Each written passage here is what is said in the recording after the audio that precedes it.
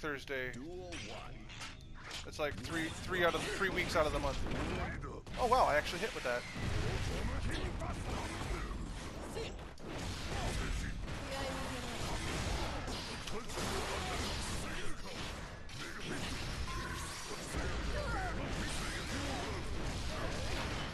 Flex muscles.